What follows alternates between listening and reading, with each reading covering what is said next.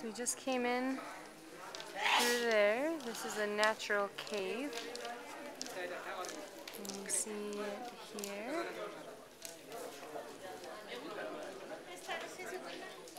see the cave back there.